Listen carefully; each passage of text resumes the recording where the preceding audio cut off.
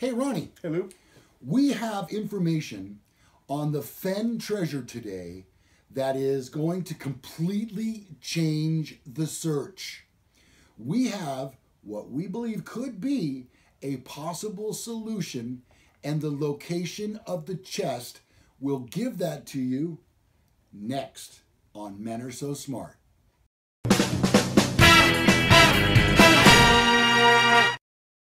Hi there, I'm Lou Gallagher. I'm Corvette Ronnie. Welcome to Men Are So Smart. Ronnie, uh, we have been following the Fenn treasure for mm, several weeks now. And yeah, at least. yeah, um, we have heard from many people who have theories on where the treasure is or what each of the clues mean. right. I received and am in contact with a letter from a searcher who believes he has the concise, full Forrest Fenn treasure reveal. He believes that he has not only solved the puzzle, the poem, Right. but he has had boots on the ground and he has a revelation in this case. We will share his post right now. I mean, I've read a, hundreds of notes from people who think they've solved several of the clues. Uh, and in looking at them, maybe. Okay, so this This person, this guy, I think, is onto it. this guy is his name is Glenn Caughlan. And Glenn and I have been texting back and forth. He lives in Australia and he has divulged his entire reveal on the location of the treasure and something even bigger, which we will get to towards the end of this episode. Stay with us. Here we go. He says the full GPS coordinates of the Fenn chest location are 45, 2236.08 north, 111, 25, 31.89 west. Google Earth Pro it. And he says, so nothing is hidden up his sleeves and he doesn't have any books to sell. Right there, those coordinates will take you to exactly where the treasure should be. Right. Now, he goes on to say that Fenn has had months to respond to me, uh, but is in hiding. I've emailed him several times and from different email addresses. Fenn was given the solution, satellite images, and coordinates. Fenn has taken the fifth on the most credible and supported solve ever formulated. His silence doesn't make sense and to me is incriminating. More on that in a moment. Glenn goes on to say, it would literally take days to cover every word, reference, meaning, and photo, which are all hints in his books. Now, Fenn has said that the puzzle, the poem, can be solved just from the puzzle, of the poem, and a, a map. Okay? What Glenn has compiled here uh, compiled here is the very tip of the iceberg. His releasing a video of the reveal, uh, he feels on reflection, would just paint him as a lunatic, by which YouTube would have a field day. Right. Uh, he's saying I'm simply presenting, putting this up now to prevent, uh, in its present form, to give the full reveal and direct everyone to the satellite images of the chest via Google Earth for themselves. This should satisfy the sensible thinkers at least. Regrettably, trolls will always remain trolls. And you know what? I get trolled all the time um, on our YouTube channel. Right. It's really not a big deal. You No. just shut them up and you move on. Right. Or you ignore them and they go away. Yeah. Yep. Um, understand, Forrest Fenn does not completely tell all the truth, as he says in his preface in The Thrill of the Chase. He says he embellishes. Look up the term in the dictionary, embellish.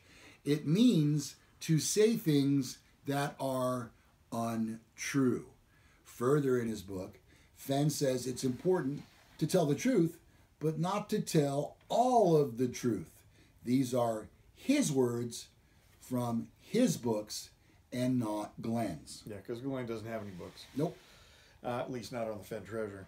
Glenn Caughlan. Yes. Uh, that was the secret to pro- profiling Fenn. Working out his modus operandi, direct his literature, distilling it down to the hints on every single page of his books. It was a business of pure detective work to make sense of Fenn's deceptions. What was relevant and what was not were keys to the location. But as Fenn said, a child could understand the poem and not to complicate it or overcook it and not to mess with his poem. With Glenn's solution, he did just that, and it's just that simple. So if you go back and you review the preliminary reveal for more insightful facts about solving Fenn's poem, identifying the location of the treasure chest, you should also browse Glenn's Fenn-related images on the site in albums to explain or solve in even more detail. Yes, and I will have these pictures as we're, doing this episode, and I'll share some of those with you. Glenn has a Facebook page, and we'll give you that information at the end of this episode, and we'll link it. The chest was hidden 50 miles, to be precise, from the town of Bozeman in Montana, West Yellowstone, home of Fenn's sister June, who married Fenn's friend Donnie, hence the mention of the hint 50 constantly in both books. Uh, Donnie and Fenn camped at Spanish Creek Cabin on Spanish Creek Road. Fenn refers to the cabin to disguise its identity as home of Brown. And remember in our last episode, Ronnie, we talked about this and how perhaps maybe the reason that this puzzle is not being solved is because people are not taking the clues literally. Overcomplicating. And I suggested that perhaps the home of Brown was nothing more than just a brown house. Right. And that is what Glenn is saying here. There it is. All right. Yep. Uh, Fenn and Donnie explored Blaze Mountain. Blaze. Blaze Mountain. Yeah.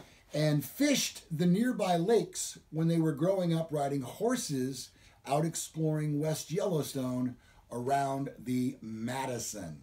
Uh, Blaze Mountain, Montana is situated in the Big Belt Montana uh, mountain range, 13 degrees of true north of Fenn's treasure map. Okay.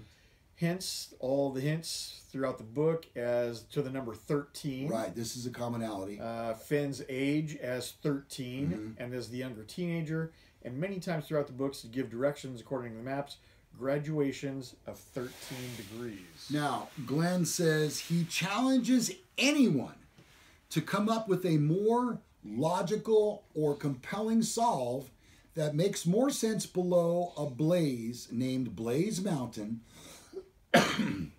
and with an independent satellite Google image anyone can go to and review, which appeared only after 2009, measuring exactly the chest's dimensions when referenced to a nearby fallen spruce's diameter. Uh, the fallen tree in 2014 satellite images was measured as 8 inches in diameter. Uh, when Glenn trekked to the site, compare that with the size of the object as a reference. Fenn clearly gave out the hint for the map to use in his book, uh, Gallatin Forest Map. In the chapter Looking for Lewis and Clark, he even set it ablaze in making it a fire for want of any dry kindling. Interesting. Yes. The chest was hidden out in the open, allowing him an aerial vigil over it from 2010 until a short time after 2014 via an aerial satellite provider. And we know that Fenn uh, also pilots aircraft. Oh, to be sure, yes. Yeah. So he could literally jump in a, a private plane and go over and see that it's still there. Or, or, knowing that he's a pilot, knowing the um, the proximity of the chest by its what do you call it satellite imaging, Right. he can tell when people are within 200 to 500 feet of Right. the treasure because he himself can look at these satellite maps and he knows the coordinates. That's what I was getting at. Yep. Uh, the chest was hidden nine miles deep inside grizzly bear habitat of Lee Metcalf Wilderness Area, uh, Gallatin State Forest, Bozeman, Montana. Lee Metcalf was an attorney, congressman, and judge, hence all the constant attorney, government, political, parole, punishment, and legal hints and references throughout the books. Okay, so now this brings us to a very important part of this disclose. And I will show you a picture of this coming up shortly. Listen up. The location of its resting place, the treasure, was upon a flat sandstone rock upon an island within a ford surrounded by waterways, principally a creek called Spanish Creek, of which its source are the Spanish lakes above, hence the clue water high. Okay, now what Glenn is doing here is he's explaining what each of these clues means as he has solved them conclusively in his opinion. Uh, the treasure chest was said by Fenn to be hidden between 5,000 feet in elevation and 10,200 feet. Okay, why 10,200? Why not just say 10,000? Doesn't that, in fact, indicate that the chest is probably between 10,000 and 10,200 feet? Except that now, if you look in the area, well, I'll go on what, what Glenn has uh, found. The ford and island where the chest is hidden, uh, was hidden, are located at an altitude of 8,139 feet Bingo. below a mountain that is 10,200 feet high. There we go. This mountain is called Blaze Mountain, hence the blaze. Uh, it's the absolute blaze and only blaze without another that can rival it for relevance and majesty. Blaze Mountain rises 10,200 feet above sea level. If individuals are skeptical of the satellite image, they cannot dismiss this solution in consideration of a mountain named Blaze Mountain and its elevation. I mean, that is so telling right there. Um, because, yeah, normally you would say, well, it's somewhere between 5,000 and 10,000 feet in elevation. Right. But on a topographical map, or if you are in an airplane, it's important to know the heights of mountains in your in, in your vicinity. Here's another interesting fact that Ronnie's about to share with us. Fenn has said that he knows people have been within 200 or 500 feet of this treasure. Now, earlier I mentioned satellite imagery, but here is an important clue dismissed. Yeah, many skiers frequent Blaze Mountain to ski its unique ski field that remains even throughout the summer. Whoo, there's a clue. Uh, the base of this ski field is 500 yards away from the treasure chest locations. The trail taken up to Spanish Lakes is 200 yards north of the treasure chest location. So, anytime anyone is just out there skiing, they are within 200 to 500 yards of this. another slight deception, wouldn't Yeah. you say? Yeah. All right, unlike Fenn, Glenn says, I tell the truth. I do not engineer deception. I am not a conspirist and I don't work off of emotion. I work off fact and evidence. The wet ford keeps wanderers from walking through the water to get to the island and just happening upon it. Okay, so now um, this is the first part of the reveal, and that brings us to which each of the clues mean, and we're going to break this down. I, I, I had an email from somebody. I don't think I have that window up here. I'm sorry. I had a comment from somebody who said, "You two old guys haven't solved this yet."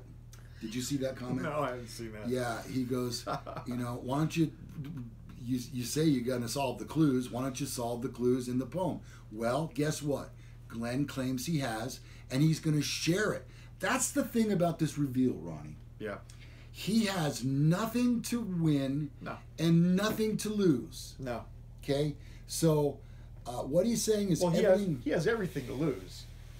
I mean, he's going to, if somebody, well, now if what he's saying is true, yeah, there is nothing to lose anymore. Okay, and we're going to get to that. Stay with us. Do not go away from our show. Here we go. Poem clues and their solutions. Okay.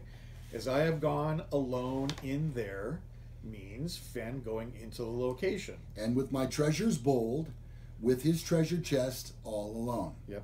Then he says, I can keep my secret where.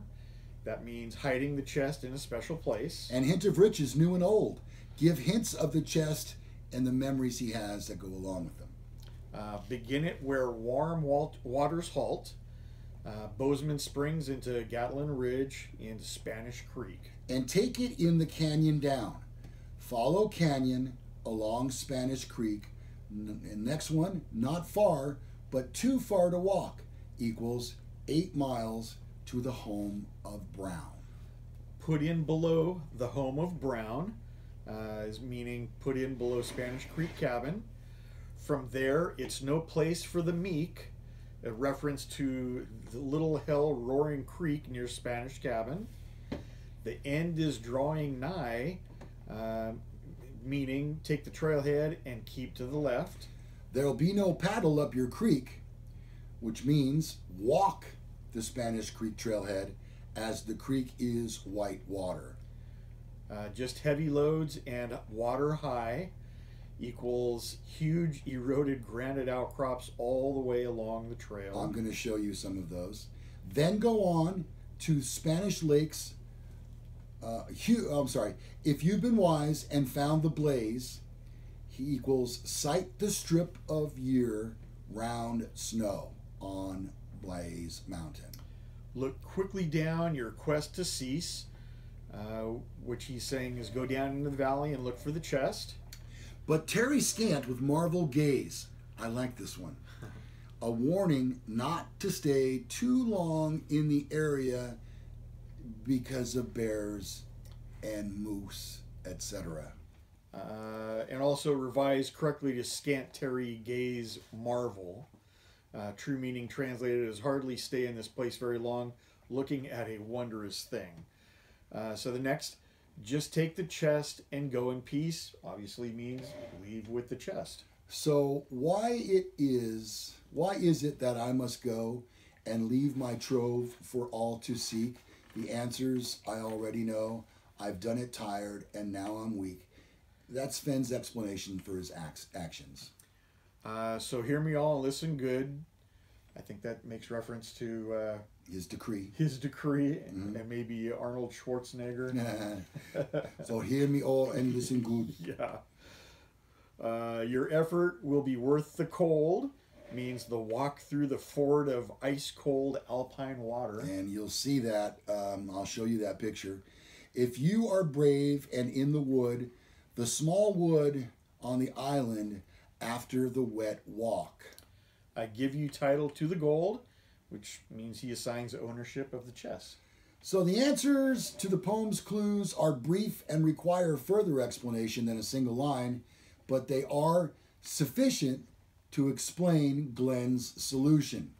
There are several reasons why this solution is absolute and cannot logically be challenged or alleged it's wrong. Uh, and here are 11 reasons. Uh, excuse me, the mountain it rested below is called Blaze Mountain. Blaze Mountain is 10,200 feet above sea level. The solution is airtight and conclusive to the very end. Satellite images exist of the chest visually from 2011 to 2014. That is the biggest one right there in my estimation. Uh, number five, every fact he's put down, put forward, is supported by evidence. Fenn, on invitation after several emails, will not deny Glenn's solve. Uh, the the brown clue of what brown remains in this case is clear. Home of Brown is obvious given the explanation. It's a brown house. no other solution is complete or conclusive. None that we've seen. No, and we've seen lots. And no, this is key. No other solution has a satellite image of a chest. Right. And as you can see right here, there is the chest. The coordinates to the treasure chest, where anyone reading or hearing this can view the current 2014 and historic images of the chest, can be viewed as follows, and I'll uh, I'll link that below. Um, but he goes on. You will find in these photos an obvious man-made 10 inch by 10 inch by 5 inch rectangular bronze colored box exactly at these coordinates. Explain this box, Glenn defies anyone. Glenn has narrowed it down through satellite imagery, magnified to the nth degree to show you that the box is in the place that Glenn determined it would be. Yep. Uh, also, Blaze Mountain is triangulated by green, red, and black mountains, references in the chapter tea with Olga, red tea, green tea, black tea.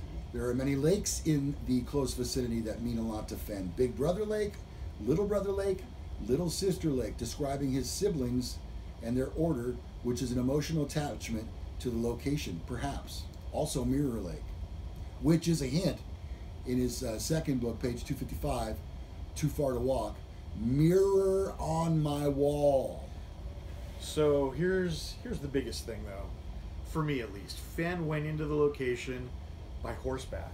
See, now that's a contradiction right there because we have been saying all along that the treasure would be someplace where an 80 year old man could walk it to. Right. Incorrect, according to Glenn's solution. He is a horseman and he rode a horse in. Yep. Uh, he via the back entrance to the Lee Metcalf Wilderness area, using Hammond Creek Trail, and then on to Solitary Trail past Hermit Lake and Lake Solitude. Hence, as I have gone in, uh, uh, sorry, as I have gone alone in there, solitude equals alone. Uh, this was mentioned by Fenn was going to use it to get to the area if he needed to throw his body upon the chest and have his bones dry out under the sun. Open or out in the open he would ride by horse set the animal free leaving no trace of a vehicle. The details other than that are inconsequential. Spanish Creek, Spanish Creek Cabin, and Spanish Lakes are derived from the constant Spanish hints throughout his book. Look for the word Spanish that appears constantly and repetitively. Uh, the fort on which the island is located is derived from Miss Ford, a teacher that taught Spanish, and the Captain Kidd hint referring to an island, which is the island within the ford.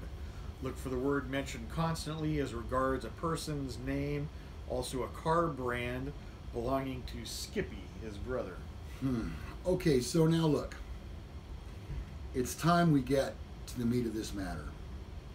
As I mentioned in the open of the show, I've been communicating with Glenn virtually every day since this reveal. Uh, he lives in Australia. He made two trips from Australia to Bozeman, Montana. And so not only does he believe, and we see some truth to this uh, based on facts and a pretty good s- solution or solve.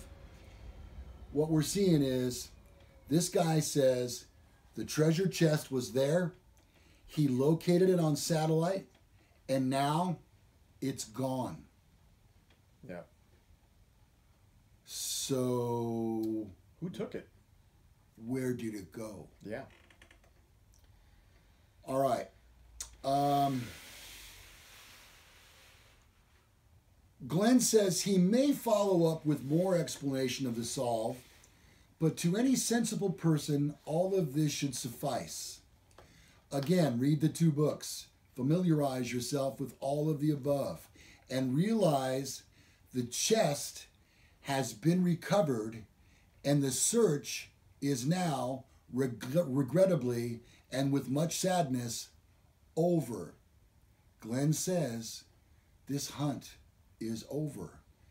Do not, he says, become another fatality, looking for something now that no longer exists. Come to terms with this fact and evidence and move on with your life. The treasure has been removed from the 45 22 36.08 North 111 25 31.89 West location. It's no longer there. Glenn goes on to say, Ronnie, this location is extremely dangerous. Grizzly bears, moose roam, and lots of snakes in the grass. Well, well, yes. Not to mention the the fast moving ice cold water. I mean, that alone, uh, an 80 year old man isn't going to be able to walk through ice cold, fast moving snow runoff. Mm-hmm. So it is, it's extremely dangerous. Um, these clues all add up. He has a photograph, for God's sakes, of the chest. Um, and then currently, there's no chest. So, how does one explain this?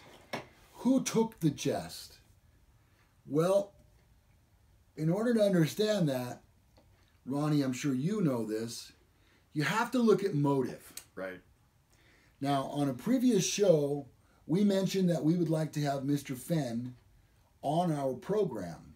Now, I never imagined that he would respond to that, but I just wanted to make sure that we did extend the offer. Got to offer. throw it out there. And we mentioned how much respect we had for him. Now, It's kind of like Jerry Glanville leaving tickets for Elvis at every Falcons game back a in the little bit like that, yeah. Exactly like that, except no singing or dancing. So we never expected that would happen, but we also mentioned we had a lot of respect for him. Glenn questions this at this point. He believes that now that Fenn has seen his satellite imagery, the jig is up. Right. And here we were thinking, and now this is keeping in mind if Glenn is correct. And Right. again, this is the most substantiated evidence in Solve that we have ever seen. If he knew that people could see the satellite chest, is it possible that that would be the end of his legacy that he's trying to leave? And would it be the end before he dies? And was that his real intent? And so, when we question motive, I think the pers- first person to think of is Forrest Fenn himself. However, there are people out there making lots of money through sponsors, sponsorships and advertising by having blogs on this Forrest Fenn treasure. Dal Neitzel. Uh, How you doing, Dal? notwithstanding, he's probably the number one guy who has money wise maybe the most to lose. What about the sale of books? Uh, well, now Forrest has said that he doesn't get money for the sale of these books, and that the books goes the the, the, the profits go to cancer research and what have you. A lot of people say the books are horribly written. Right. So maybe it's not so much the money he makes from the books, but the fame that he gets from people reading them. Right.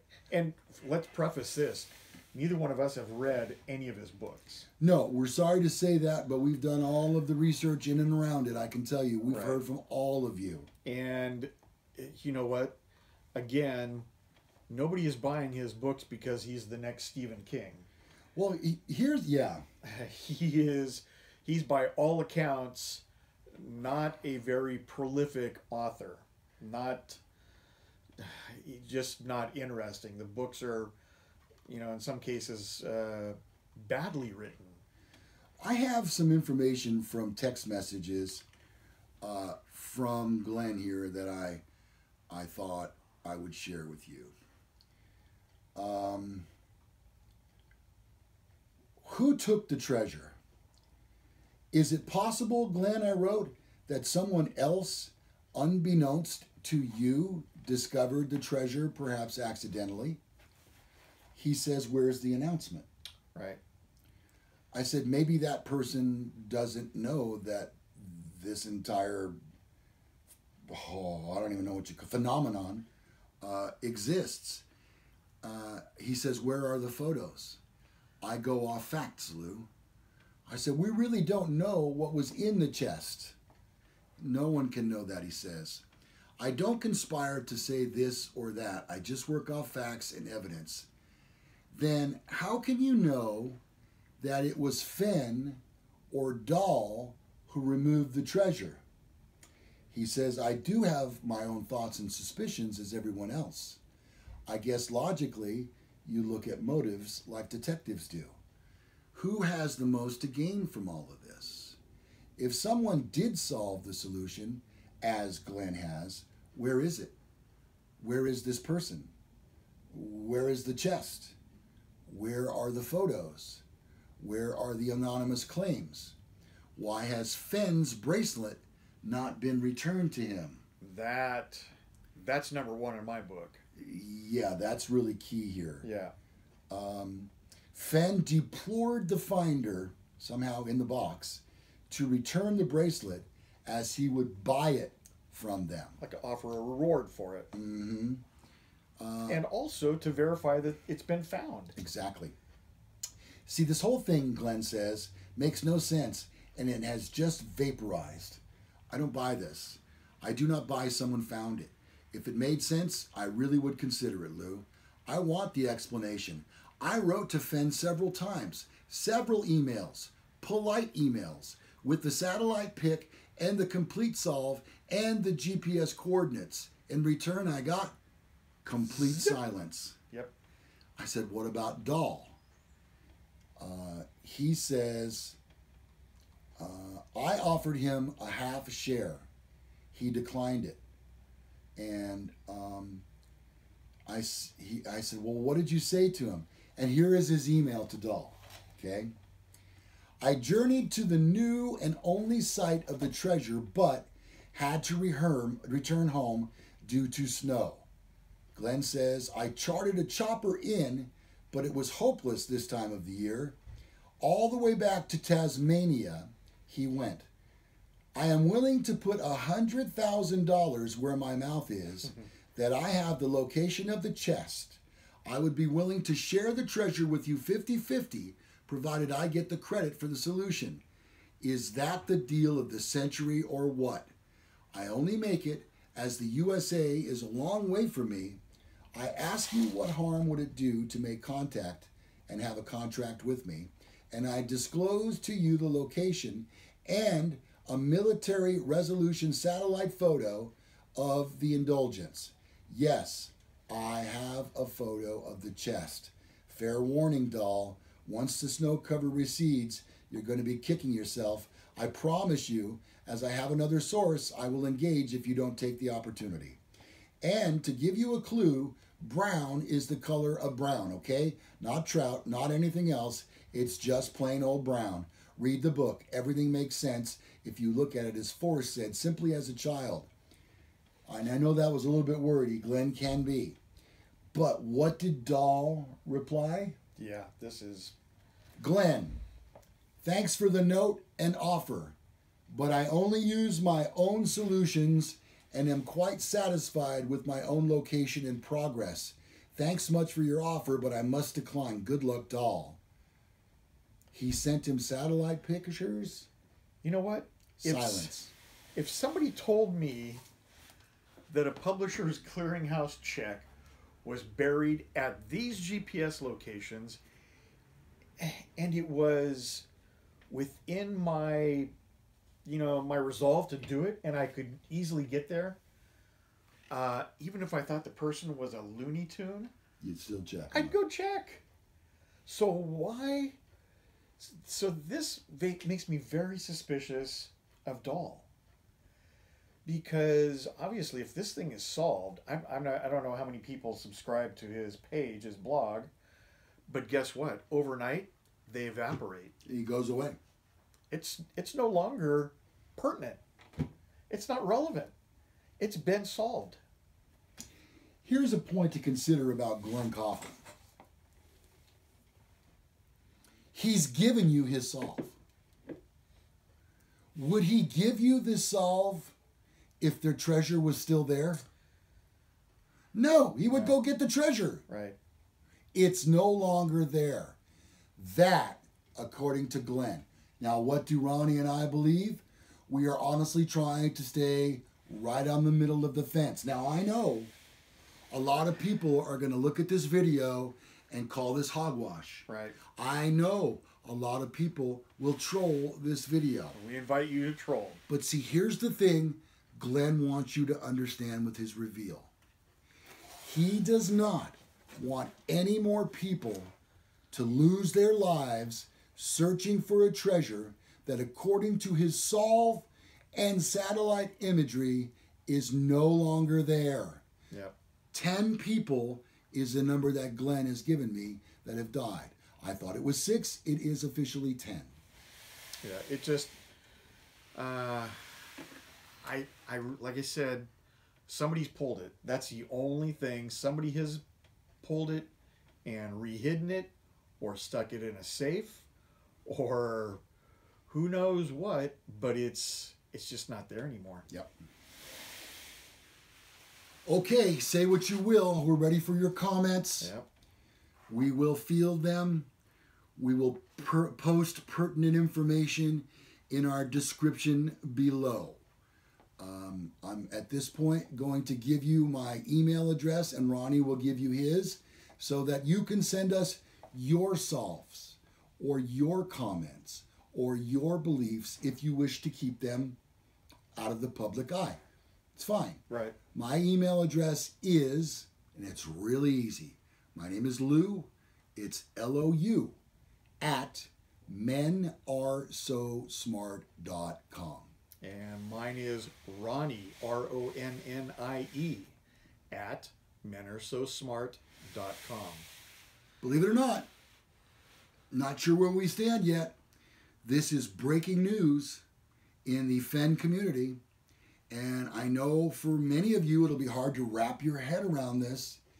Again, we stay on the middle of the fence, uh, but we are looking at facts and evidence.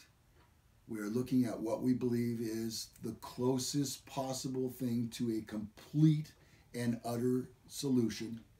I mean, we we really don't have a dog in this fight. No, we don't. So, however, obviously, uh, lots of people are following our videos to try to get more solutions. So, realistically, this could be hurting our viewership as well if there's a solve. So, um, I mean, yeah, it would sting, but you know what? The the other side of the coin is I don't think anybody needs to needlessly go out there and search for something that's not there and put your life in danger. All right, that'll do it for this episode of Men Are So Smart. As I mentioned, all of the information you'll find below. We look forward to hearing from you. My name is Lou Gallagher, My name is Corvette Ronnie. and we'll see you on the very next Men Are So Smart.